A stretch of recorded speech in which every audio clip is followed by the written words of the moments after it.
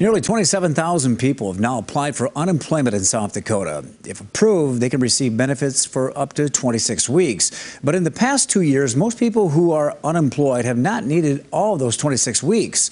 Uh, KELOLAND.com original story takes a closer look at how long people were out of work in South Dakota and other neighboring states.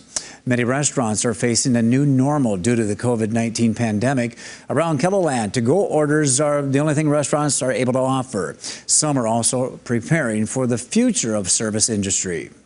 My theory is, is that what doesn't kill you makes you stronger. And I think we're going to be stronger. We are, we're going to have some tough months. We're going to have the next six months are going to be tough, but you know, we're in it for the long term. KELOLAND.com reporter Whitney Fowkes talked with Knipe about what changes he's already made to his restaurants for future dining experiences. You can find his answers under this KELOLAND.com original report.